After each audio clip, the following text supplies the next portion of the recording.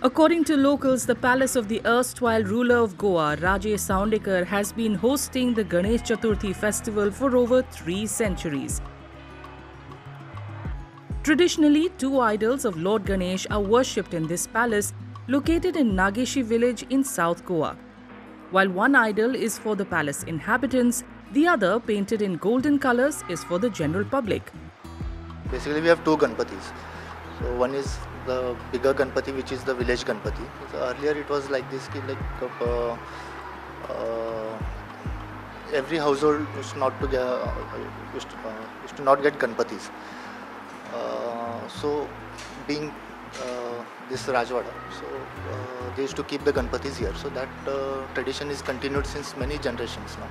So I'm exactly not sure since how many years it is. Probably it should be more than 100 years at least.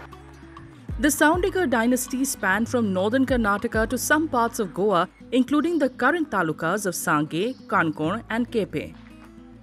Clay idol artisan Nandadeep Nayak has created the Ganesh idol for the palace this year.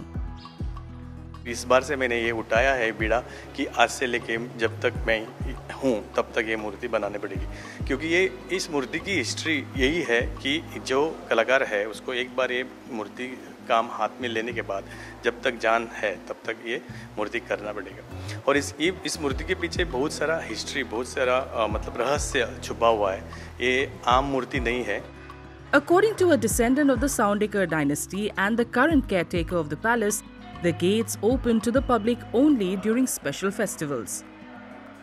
Ganpati is the uh, uh, main festival, so where public is open, and even while Chaitra Purnima, that is in April, so that time also the palace is open because we have a stage here only uh, in the compound, and there are uh, uh, Natak going on for a week or so, and then at the end of the day, like we have uh, end of the Jatra, we have Rathotsav.